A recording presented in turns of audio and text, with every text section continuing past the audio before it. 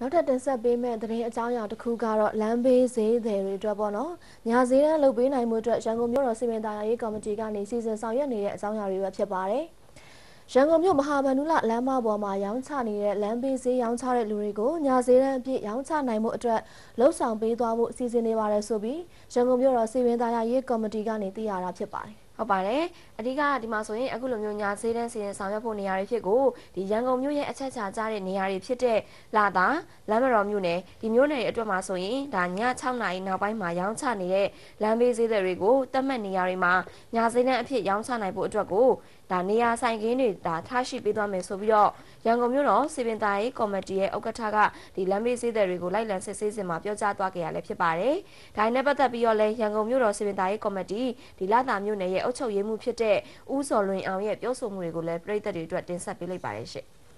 မြို့တော်ဝင်ရောက်ကျွန်တော်တို့လက်ရှိဒီဗလီလလမ်းမှာရှိတဲ့ဈေးသက်တွေကိုကျွန်တော်တို့ဒီတတ်မှတ်ထားတဲ့နေရာမှာညဈေးသန်းတစ်ခွဲပြုလုပ်ဖို့ဆောင်ရွက်နေတဲ့အနေအထားရှိပါတယ်ဒါပေမဲ့အဲ့ဒီကိစ္စနဲ့ပတ်သက်ပြီးတော့သူနေရာရှာပြီးတော့ကျွန်တော်ကက်ပီနက်ကိုတင်ပြပြီးတော့ဆောင်ရွက်နေတဲ့ဖြစ်တဲ့အတွက်ဒါလေးရတယ်အခုလက်ရှိဆုံးဖြတ်ချက်ပေးလို့မရသေးပါဘူးခင်ဗျာ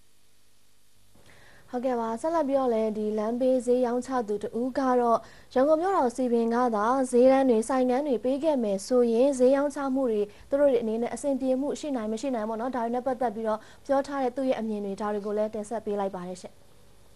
လောလောဆယ်တော့မပြေလောက်ဘူးဘာဖြစ်လို့လဲဆိုတော့ဟိုလောလောဆယ်ဟိုစားဝတ်နေရအခု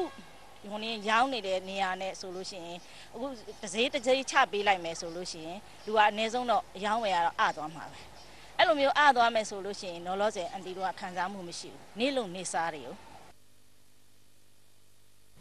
ဟုတ်ပါရဲ့လက်ရှိမှာဆိုရင်ဒါရန်ကုန်မြို့တော်ပေါ့နော်စီမံသားရေးကော်မတီအနေနဲ့ကဒီလမ်းဘေးဈေးတွေပေါ့သူတို့တွေကိုဆိုရင်ဒါလူသွားလမ်းတွေဖြစ်တဲ့ပလက်ဖောင်းမှာပဲဒါပေါ့နော်ဈေးရောင်းချခွင့်ကိုပေးထားတာပေါ့ဒါပေမဲ့လည်းဒီပလက်ဖောင်းကြော်ပြီးဈေးရောင်းချတဲ့ဈေးတွေကိုဆိုရင်ဒါရန်ကုန်စီမံတာဝန်ရှိသူတွေအနေနဲ့ကဒါတန်ကျူးကြီးပေါ့နော်တန်ဆူးကျိုးချပြီးတော့မယောင်းရနယ်မြေဖြစ်ကိုလိုက်လံသတ်မှတ်ထားတဲ့အခြေအနေလည်းရှိနေတာဖြစ်ပါတယ်ဒါတွေပြင်ကိုပဲဒီမြို့တော်စီမံအနေနဲ့ကလည်းဒါလမ်းပေါ်ဈေးရောင်းချမှုတွေနဲ့ဒီပေါ့နော်ဈေးရောင်းချမှုတွေကိုဆက်လက်ပြီးတော့မရောင်းချဖို့အတွက်ကိုတားမြစ်ထားတဲ့ကြေညာချက်ဒီကြေညာချက်ကိုဆိုလို့ရှိရင်လည်းဒါအခုလပေါ့နော်ဩဂတ်စ်လ16ရက်နေ့ကထုတ်ပြန်ထားခဲ့တဲ့အခြေအနေလေးရှိတာပေါ့ဟုတ်ပါတယ်ဟုတ်ပါတယ်အခုဆိုရင်လည်းဒီဟာလမ်းဘေးဈေးတွေအတွက်ကိုဆိုရင်ဈေးရောင်းချဖို့နေရာပေးရတာကအဓိကတော့ဒီရင်ကြောကြက်တဲမှုဒါတွေမရှိစေဖို့နဲ့အများပြည်သူနဲ့ဒါဆိုင်တဲ့နေရာတွေပေါ့ဟုတ်ကဲ့ဟုတ်ကဲ့ဒီနေရာတွေမှာဆိုရင်ဒါရောင်းချတဲ့ဒီလမ်းဘေးဈေးတွေအနေနဲ့က